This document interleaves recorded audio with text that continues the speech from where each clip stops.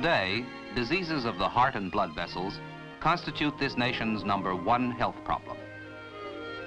Medical science, with the aid and support of the American Heart Association and its affiliates, is attacking this problem on many fronts. One of the crucial battles is being waged against a form of arteriosclerosis, or hardening of the arteries.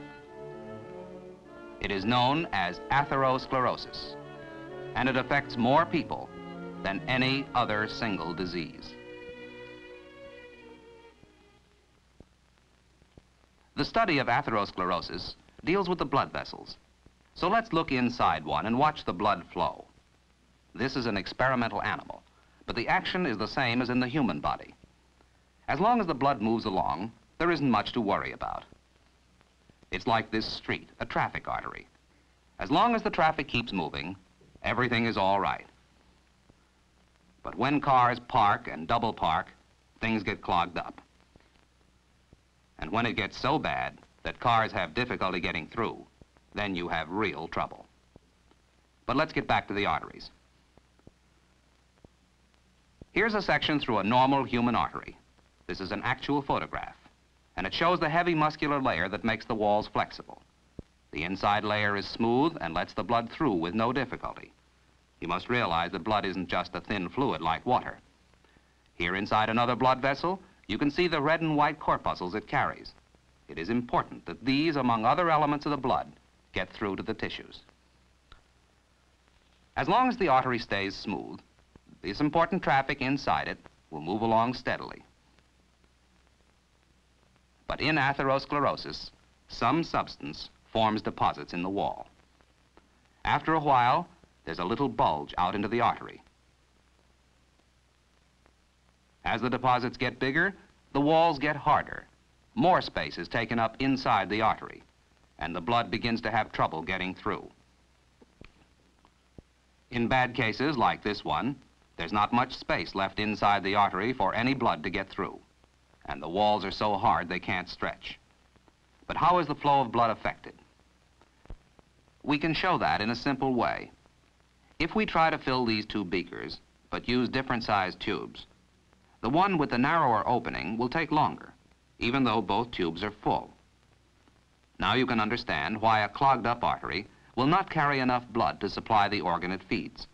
And you can begin to see how this disease affects the body. The less blood an organ gets, the slower and less efficiently it will function. But slowing up the blood flow isn't the only danger here. This is part of the large artery from an actual case and this reveals the second danger from atherosclerosis. These hard patches on the inner surface are sclerosis, like the small bulges you just saw. They are rough, and blood clots may form at any rough or injured surface. Here's what can happen. This is a small vessel in an animal. The wall has been injured slightly, just about the middle of the screen, to produce a rough surface. First, a small clot begins to form. Then it grows larger and starts to interfere with the flow of blood.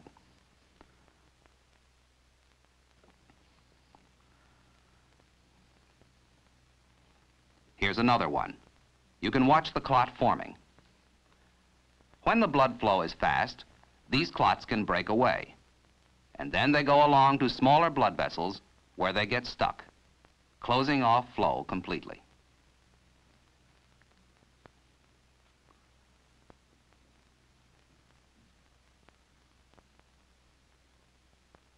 There it goes, on its way to cause real trouble. And here's what happens when a clot closes off an artery. The black mass is the clot, and no blood at all can get through. This can lead to severe damage. In the heart, for instance, a clot suddenly cuts off blood from a part of the muscle. The result is a heart attack. Part of the heart can't do its work.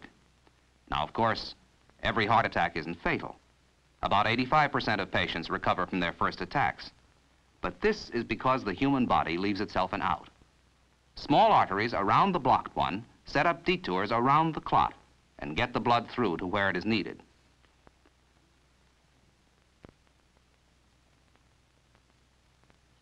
Where a clot forms in the brain, nerve centers are damaged. The nerves from these centers don't carry any impulses, and the organs they usually supply become useless. In this way, a small clot in one area of the brain can produce paralysis of the whole side of the body. But here, too, detoured blood vessels help to restore use of the affected parts of the body.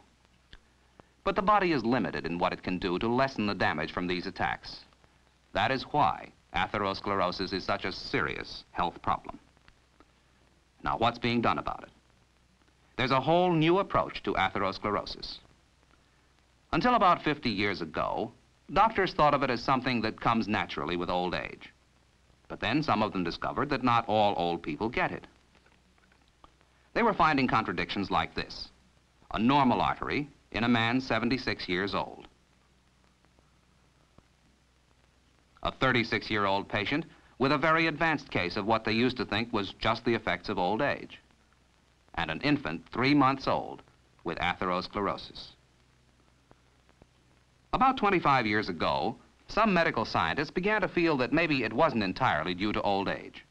Maybe it was the result of disease. If they could find out just what caused these patches on the artery wall, they might even develop a treatment for it, and perhaps a preventive. So research workers started asking themselves questions about the disease.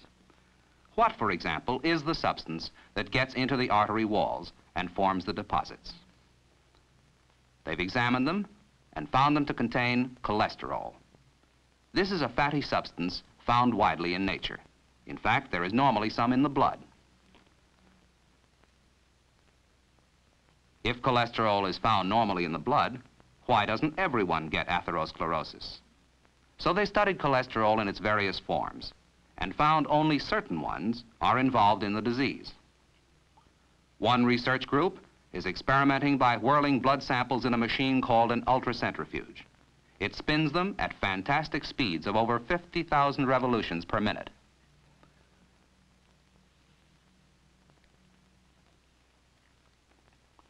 This makes it possible to separate and measure the quantities of the various types, and even take a picture of the measurements. This is one of the methods by which research scientists hope they can learn how to diagnose early and possibly prevent atherosclerosis. Now, how do these cholesterols get into the blood? Another research group has been investigating the fats taken into the body as foods. Fats are absorbed into the blood and give the blood serum this milky appearance. In normal people, this fat is used up rapidly, and the blood becomes clear again. This may be because a clearing factor is present in some people and not in others. If this clearing factor can be discovered and added to the blood, perhaps atherosclerosis can be prevented in some people. Another question is, do fats in the diet have much effect on the production of atherosclerosis? A research group in Europe reported on a rather unusual study. Here, the amount of fats consumed in the diet took a very sharp drop during the war. Then after the war, they were again added to the diet.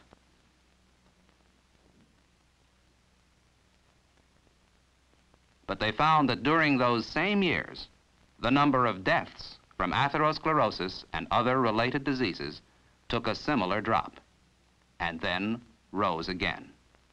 So diet would seem to have something to do with it. But what happens to the fats that go into the body? A research group is looking for that answer. They inject harmless radioactive molecules of fat into the blood and then trace them around the body with sensitive Geiger counters. That's using atomic energy for medical progress.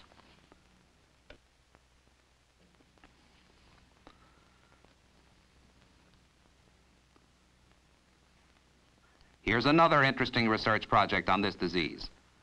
This high-pressure machine is pumping blood which contains cholesterol against small pieces of artery wall.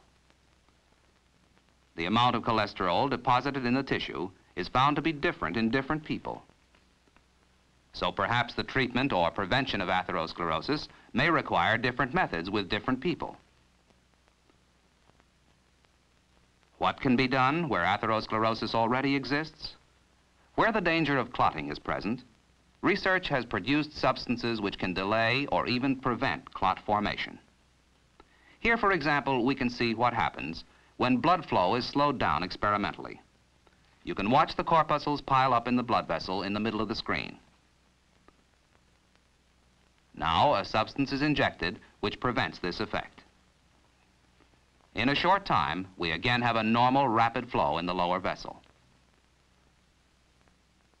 These substances are already available for use and are helping to cut down the toll of disability and death from atherosclerosis.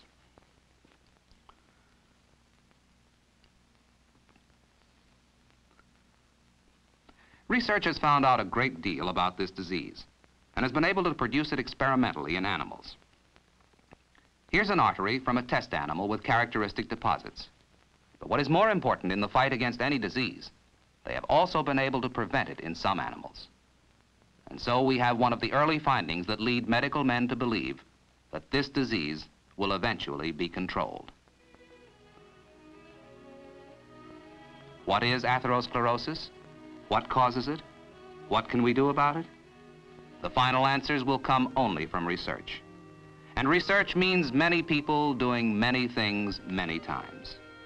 It means constantly checking and rechecking results. It means asking more questions and posing more problems. It means learning everything there is to know about this important highway system, what it is and what it carries.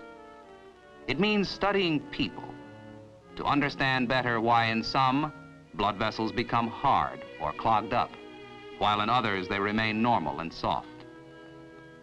With the strong and continued support of the American Heart Association and its affiliates, there is every hope that medical science will find the answers, and with them, the ability to successfully treat atherosclerosis and even prevent it.